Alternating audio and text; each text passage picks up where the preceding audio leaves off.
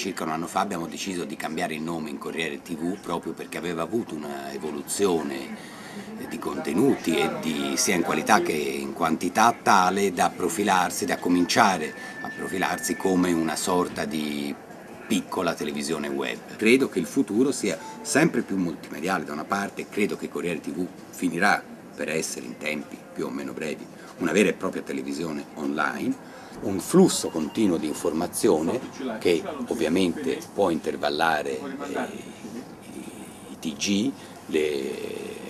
le video news, le rubriche e tutti gli altri contributi che vengono prodotti per avere anche una possibilità di fruizione continuativa nell'arco della giornata, all'inizio probabilmente nelle ore principali e poi forse anche a coprire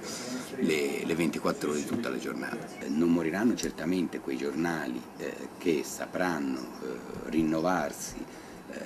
cambiare non solo da un punto di vista di struttura grafica ma anche da un punto di vista editoriale, cioè di contenuti che sapranno cambiare per riposizionarsi in un sistema dei media che